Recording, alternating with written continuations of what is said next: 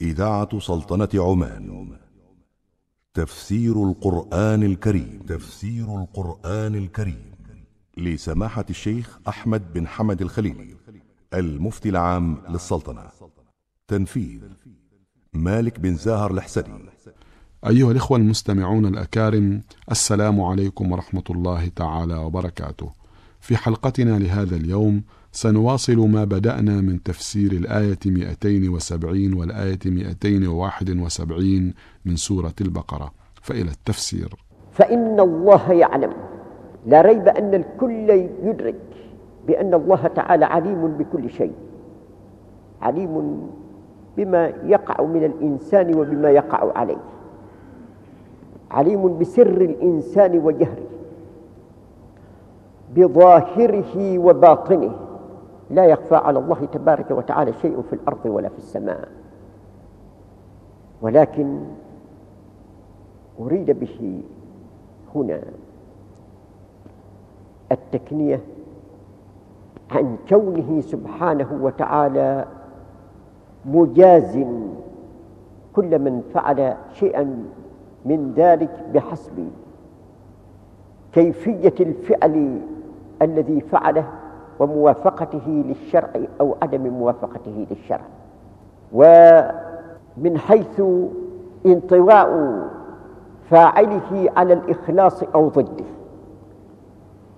فإن الله تبارك وتعالى هو الذي يجزي هؤلاء وهؤلاء يجزي المحسنين والمسيئين جميعا. فما كان من نفقة أو نذر طبق الشريعة الإسلامية الغراء وطبق أمر الله واستجابة لداعي الله مع خلوص النية لله سبحانه وتعالى فذلك قربان إلى الله. والله يجزي به الجزاء الحسن. وما كان بخلاف ذلك فإنه أيضا يكون جزاؤه على نحوه. فإن كان مخالفا لشريعة الله أو كان مما ابتغي به غير وجه الله سبحانه وتعالى فالله يجزي صاحبه. وذكر العلم هنا لأن العليم القادر لا يحجزه أي شيء عن مجازات من فعل خيرا أو فعل شرا. فمن كان عليما بتقرب أحد إليه وهو قادر على مجازاته فلا ريب أنه يجازيه. وكذلك من كان عليما بفعل سوء وهو قادر على مجازاته فإن ذلك يقتضي أيضا مجازاته. ففي الآية وعد ووعيد وعد للمحسنين ووعيد للمسيئين. وذلك مما ينطغي عليه قوله سبحانه فإن الله يعلم. وقد ذكر الله سبحانه وتعالى هنا النفقة والنذر. ذكر أمرين اثنين. ولكن عند ما أعاد الضمير كان الضمير مفردا. كان ضمير إفراد ولم يكن ضمير تثنية. لم يقل فإن الله يعلمهما. وهذا الذي دعا بعض المفسرين إلى القول بأن هنا تقديرا. أي ما أنفقتم من نفقة فإن الله يعلم. وما نذرتم من نذر فإن الله يعلم. واكتفي للثاني عن الأول لأجل الدلالة عليه. فالجملة الثانية دالة الجملة الجوابية الثانية دالة على الجملة الجوابية الأولى على هذا الرأي. ومنهم من قال بأن هذا كونه المتقدم أو المتأخر. وعند الاختلاف في التذكير والتأنيث يؤثر تارة المتقدم لكونه أسبق فيعود الضمير إليه كما في قول الله تبارك وتعالى وإذا رأوا تجارة أو لهوا انفضوا إليها. حيث أيضا الضمير إلى التجارة بسبب تقدمها ولم يعد إلى اللهو. وقد يعاد الضمير إلى المتأخر لكونه أقرب. والضمير في العادة يعود إلى أقرب مذكور. وذلك كما في قول الله تبارك وتعالى ومن يكسب, ومن يكسب خطيئة أو إثما ثم يرمي به بريئا. فقد أعيد الضمير إلى الإثم ولم يعد إلى الخطيئة. وقال أبو حيان بسبب ذلك تؤول رد الضمير ضمير تثنية إلى المتعاطفين ب بأو في قول الله تبارك وتعالى إن يكن غنيا أو فقيرا فالله أولى بهما. والشوكاني قال بناء على ما سبق ذكره يمكن أن يكون الضمير مراعا فيه كل هذه الاعتبارات فيكون تارة ضمير تثنية ويكون تارة ضمير إفراد وذلك إنما يعود إلى عدم تحديد الذي هو المقصود بالحكم من المعطوف أو المعطوف عليه عندما يكون العطف بأو وما للظالمين من أنصار؟ لا ريب. أن الوعد والوعيد كما ذكرنا مطويان ضمن قول الله سبحانه وتعالى فإن الله يعلم. ولكن بعد هذا لئلا يتجاهل الناس الوعيد ولئلا يشتغلوا بالوعد وحده نص على الوعيد هنا. فإن أليق بفضل الله تبارك وتعالى وكرمه أن يلتفت إلى وعده وهذا قد يجعل الناس لا يلتفتون إلى جانب الوعيد فلذلك نص على الوعيد في قوله وما للظالمين من أنصار أي الذين ظلموا سواء كان هذا الظلم بمنعهم حقوق الناس التي فرضها الله تبارك وتعالى عليهم في أموالهم. أو كان هذا الظلم بإيتائهم أصحاب هذه الحقوق دون ما يستحقون كأن يعطوهم الرديء مع استحقاقهم الجيد. أو أن يعطوهم الأقل مع استحقاقهم الأكثر. أو أن ينفقوا هذه الأموال رئاء الناس من غير أن يقصدوا بها وجه الله تبارك وتعالى أو أن ينفقوها في معصية الله. فإن هؤلاء جميعا ظلموا أنفسهم وظلموا غيرهم. هم ظالمون أنفسهم لأجل تعريضهم لها إلى عقاب الله سبحانه وتعالى. وهم ظالمون لغيرهم لأنهم منعوا الغير ما يستحقه مما أجراه الله تبارك وتعالى على أيديه من فضل ونعمة. فلذلك قال وما للظالمين من أنصار. والظالمون جمع ظالم والظالم وصف منه ظلم يظلم ظلما والظلم هو وضع الشيء في غير موضعه. فكل من وضع الشيء في غير موضعه فقد ظلم. فعندما يمنع الإنسان حقا من حقوق الله أو يعطي هذا الحق من منعه الله سبحانه وتعالى من إعطائه كأن ينفق على العصاة تشجيعا لهم على معصية الله سبحانه وتعالى أو ينفق في سبيل الشر. تشجيعا على ذلك فإن هذا كله يعد ظلما وما للظالمين من أنصار. والأنصار جمع نصير وهو جمع معهود فإنه يقال شريف وأشراف وشهيد وأشهاد ويجوز أن يكون جمع ناصر كما يقال شاهد وأشهاد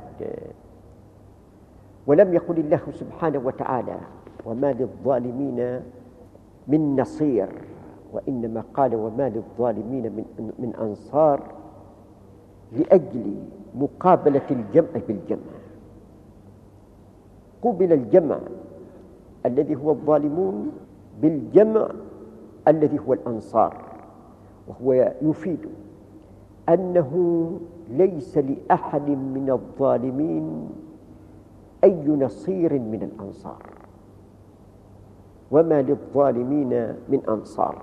ثم قال سبحانه وتعالى إن تبدوا الصدقات فنعما هي وإن تخفوها وتؤتوها الفقراء فهو خير لكم ويكفر عنكم من سيئاتكم والله بما تعملون خبير. نحاول بمشيئة الله أن نتحدث بقدر ما يتسع الوقت في تفسير هذه الآية الكريمة ونرجئ ما لم يتسع له الوقت إلى الدرس الآتي إن شاء الله. بعدما ذكر الله سبحانه وتعالى أنه مهما عمل الإنسان بأن يتصدق بأن ينفق نفقة أو ينذر نذرا فإن الله تعالى عليم بذلك. كيفما كان ذلك؟ أتبع ذلك البيان هذا البيان. وهو يفيد التفصيل لبعض ما أجمل هنالك. ولا ريب أنه عندما يلتفت الإنسان إلى الآيات السابقة يجد أيضا لهذه الآية ارتباطا بها فهي ترتبط بما تقدم من الآيات المتقدمة التي تحدثت في موضوع الإنفاق. فالارتباط حاصل بين هذه الآية وتلكم الآيات من حيث إن الله سبحانه وتعالى ذكر هنالك أحوال الذين ينفقون أموالهم رئاء الناس. ولا يؤمنون بالله واليوم الآخر. وذكر أن هذا الرياء محبط لأعمالهم ومتلف لثوابهم. وذكر هنا سبحانه وتعالى أنه عليم بكل ما يقع من الإنسان. فعندما ينفق أي نفقة فهو تعالى بها عليم. ولعله يتساءل متسائل بعد ما تقدم وما جاء هنا. هل الإنسان عند ما تقتضي الأحوال أن تكون نفقته علانية؟ لا يكون له ثواب على هذه النفقة؟ لأن العلانية مظنة الرياء ولأن ما هنا من ذكر كون الله تبارك وتعالى عليما بأحوال النفقات يقتضي الإخفاء. فإذا هل يلتزم المنفق في جميع أحواله كون نفقته سرية وألا تكون علانية؟ الله تبارك وتعالى أجاب هنا بفضله على هذا التساؤل فقال إن تبدوا الصدقات فنعما هي وإن تخفوها وتؤتوها الفقراء فهو خير لكم. فالإبداء عندما يكون مع خلوص النية وسلامة الصدر لا يكون هذا الإبداء محبطا للعمل بل الصدقة هي قربة إلى الله تبارك وتعالى. والقربة عندما تكون خالصة إليه ولو أتى بها الإنسان ظاهرا وأتى بها على ملأ من الناس مع صفاء سريرته وعدم شوب قصده بشيء من شوائب الرياء تكون هذه القربة موضع القبول عند الله تبارك وتعالى. إن تبدوا الصدقات فنعمة. أي إن أبديتم الصدقات وأنفقتموها نفقة ظاهرة. فنعم إبداؤها. والصدقات جمع صدقة. والصدقة سميت صدقة. لأن الفعل يدل على الصدق ويدل على الكمال. تكامل الشيء يعبر عنه بالصدق. يقال إن هذا البناء صادق في المتانة أو هو صدق المتانة بمعنى أنه متكامل في متانته. ويقال أيضا في المحارب بأنه صادق في طعانه عندما يوفي الطعان حقه. ويقال في الشيء الطويل هو صادق في الطول. وعلى أي حال فالصدقة إذن فيها كمال للإنسان عندما يلتفت إلى هذا المعنى. لأنها تدل على استعلائه على رغباته وتحكمه في شهوة المال الجامحة بين طوايا نفسه وقد يلتفت في ذلك إلى معنى الصدق الذي هو ضد الكذب. نظرا إلى أن الصدقة هي تصديق لإيمان المرء فإنها من التكيف العلني وفق الإيمان الذي في طوايا نفسه. لما في هذه النفس مما ذكرناه من الرغبة الجامحة في المال التي تأسر هذه النفس عندما تترك وشأنها حتى تكون هذه الرغبة داعا أضالا. وتكون سببا لارتكاب الكثير الكثير من الموبقات. فلذلك سميت الصدقة صدقة لأنها مصدقة للإيمان الذي يتحكم في هوى الإنسان ويسيطر عليه ويقوده إلى مرضاة الله تبارك وتعالى. وقد اختلف المفسرون في الصدقات هنا. هل هذه الصدقات تشمل صدقات الفرض وصدقات النفل؟ أو أن هذا الحكم إنما هو في صدقات النفل ولصدقات الفرض حكم آخر. وهو أن صدقة الفرض الأولى بالإنسان أن يظهرها لا أن يخفيها. بينما الآية الكريمة تتحدث عن الصدقات وجواز إظهارها. ولكن مع ذلك تتضمن تفضيلا لإخفائها على إظهارها. فمن المفسرين من قال بأن المراد بالصدقات هنا ما يشمل صدقات الفرد وأن صدقات الفرد ينبغي للإنسان أن يخفيها ولكن إن أظهرها فلا حرج عليه في هذا الإظهار. وهذا القول هو الذي ذهب إليه أبو جعفر الهراسي المعروف بالكية الطبري صاحب كتاب أحكام القرآن. وعزاه إلى الإمام الشافعي وذكر أيضا أن الآية الكريمة دليل للرأي الذي نسب إلى الإمام الشافعي أنه يسوغ للإنسان أن يتولى صدقته بنفسه. وهذا الرأي يفهم أيضا من كلام ابن عطية أنه يميل إليه بعدما حصل ما حصل من الشح.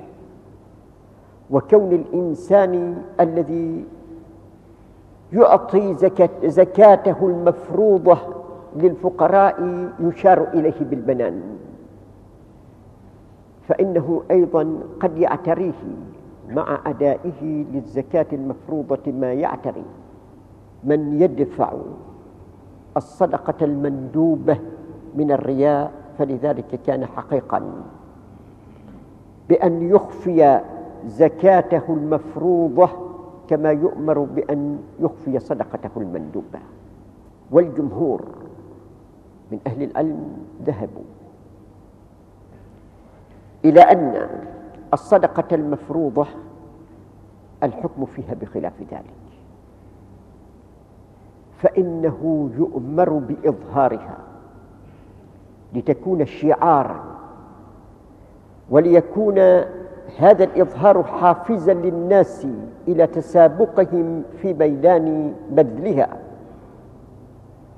ولأنها أبعد من الرياء نظرا إلى أنه أمر عام يشترك فيه الكل. فحكمها كحكم الصلاة المفروضة التي يؤديها الإنسان في الجماعة ولا يحسب حسابا للرياء لأن الناس مشتركون. في أداء هذه الصلاة في الجماعة. وقد جاء في رواية أخرجها الإمام ابن جرير الطبري في تفسيره عن ابن عباس رضي الله عنهما أنه ذكر بأن صدقة السر في النافلة تفضل صدقة العلانية بسبعين ضعفا وأن صدقة العلانية في الفرض تفضل صدقة السر بخمسة وعشرين ضعفا. وقد قال القرطبي في تفسيره بأن هذا مما لا يقال بالرأي أي مما لا يتوصل إليه بمجرد اجتهاد الإنسان فإن تحديد هذه النسب أمر يتوقف على التوقيف الشرعي. وهو الذي يقتضيه كلام الإمام القطبي في هميانه. وقد قال بذلك غير واحد من أئمة التفسير تبعا لما قاله القرطبي. هذا. وقد وردت روايات عديدة تدل على فضل صدقة السر وأنها تطفئ غضب الرب. ففي الحديث عن النبي صلى الله عليه وسلم صدقة السر تطفئ غضب الرب. وذكر ابن العربي بأنه ليس هنالك من سنة ثابتة عن النبي صلى الله عليه وسلم في تفضيل صدقة السر في موضع وتفضيل صدقة الجهر في موضع آخر. ولكن يستفاد تفضيل صدقة السر مما دلت عليه هذه الآية الكريمة ويستفاد ذلك من الإجماع. والإجماع الذي يشير إليه ذكره ابن جرير الطبري في تفسيره فذكر أنه مما أجمع عليه أن الصدقة عندما تكون مندوبة يكون إيتاؤها سرا أفضل عند الله وعندما تكون مفروضة يكون إيتاؤها جهرة أفضل عند الله. ولا يسلم لما ذهب إليه لما ذهب إليه ابن العربي من أن ذلك مما لم تثبت به رواية. فإن الرواية في فضل صدقة السر ثابتة في حديث السبعة الذين يظلهم الله بظله يوم لا ظل إلا ظله وهي رواية صحيحة أخرجها الإمام الربيع والشيخان وغيرهم من أئمة الحديث وجاء في ذكر هؤلاء السبعة أن النبي صلى الله عليه وسلم عندما أتى على آخرهم قال ورجل تصدق بصدقة فأخفاها حتى لا تعلم شماله ما أنفقت يمينه. وهو كناية عن الإسرار إذ مع التقارب بين اليدين اليمين والشمال وتعاونهما في العد لو كانت الشمال واعية عاقلة لما وعت شيئا عندما تدفع اليمين هذه الصدقة. ودليل على منتهى الإسرار هذا. وقد ذهب الإمام محمد عبده إلى أن صدقة الفرض لا ينبغي بحال من الأحوال أن تكتم بل ينبغي عدم اكتتامها. لأن في الاكتتام ما يشجع أصحاب الشح على منع صدقاتهم بخلاف ما إذا رأوا المحسنين يدفعون صدقاتهم فإن ذلك داع إلى التأثير عليهم إذ للعادة وللبيئة تأثيرا على نفس الإنسان. ونظر السيد محمد رشيد رضا فيما إذا أصبح الناس أشحاء بصدقاتهم بزكواتهم لا ينفقون الزكاة المشروعة المفروضة عليهم. هل يكون في هذه الحالة إيتاؤها سرا أو لا؟ وهذا الذي ذهب إليه ابن عطية وقال بأنه في هذه الحالة يشار إلى من يدفعها بالبنان أو أن إبقاء إنفاقها علانية أفضل فأجاب بأن إبقاء إنفاقها علانية أفضل لأن في ذلك إحياء لشعار الدين ولا ينبغي أن يطمس شعار الدين. فمهما يكن الإنفاق علانية أفضل ولو كان الذي ينفقها يبقى وحده منفقا ولأن هذا مما ربما يدفع بعض الأشحاء إلى الاقتداء به في إيتاء هذه الزكاة المفروضة عليه. هذا. وذكر السيد رشيد رضا بأنه قد يكون إيتاء صدقات النفل علانية في بعض الحالات أفضل. وذلك عندما يكون الإنسان قدوة لغيره. وهذا يختلف باختلاف الأحوال.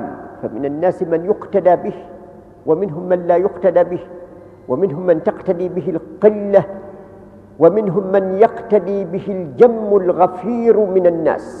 وهذه المسألة تحتاج إلى شيء من التوسع فيها فلذلك نؤخر الحديث فيما يتعلق بها إلى الدرس الآتي إن شاء الله نظرا إلى ضيق الوقت. ونسأل الله سبحانه وتعالى أن يهدينا وإياكم سواء السبيل وأن يكلأنا من شرور أنفسنا ومن سيئات أعمالنا. إنه على كل شيء قدير وبالإجابة الجدير. نعم المولى ونعم النصير. وصلى الله وسلم على سيدنا محمد وعلى آله وصحبه أجمعين. سبحان ربك رب العزة عما يصفون. وسلام على المرسلين والحمد لله رب العالمين. مستمعي الأعزاء كنا مع تفسير الآية 270 من سورة البقرة. وأما ما تبقى من تفسير الآية 271 من سورة البقرة فسنواصله في حلقتنا القادمة بإذن الله تعالى. السلام عليكم ورحمة الله تعالى وبركاته. كنتم مع تفسير القرآن الكريم. تفسير القرآن الكريم لسماحة الشيخ أحمد بن حمد الخليلي المفتي العام للسلطنة. تنفيذ مالك بن زاهر الحسني